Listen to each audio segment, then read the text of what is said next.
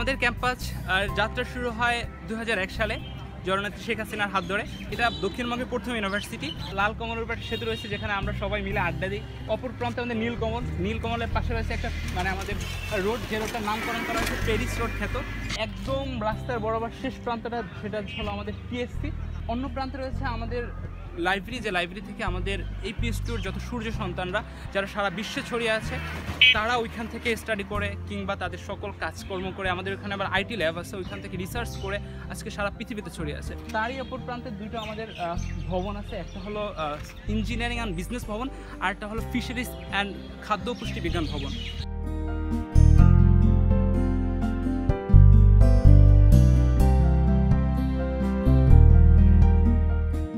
আমাদের এই বিশ্ববিদ্যালয়ের জাম প্লাজম হচ্ছে বাংলাদেশের সেকেন্ড লার্জেস্ট জাম প্লাজম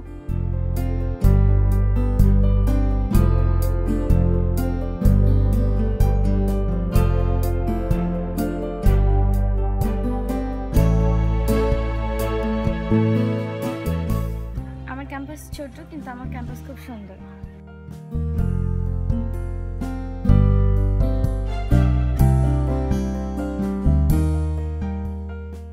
আর শিক্ষাগত দিক থেকে বলব, এখানে শিক্ষার সাথে ট্রেডিশনালি সংস্কৃতি চর্চা করা হয়। আর সব থেকে ভালো লাগার কথা হচ্ছে, পড়াশোনার দিক থেকে এখানে কোনো সেশন জাট নাই।